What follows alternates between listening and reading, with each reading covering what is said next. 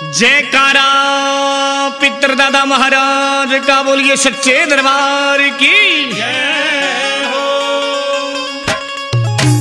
तेरे थान पे आके ओ दादा मैं जोत जगाऊँगा। मेरे सिर पे रखिए हाथ मचरना, शीश झुकाऊँगा।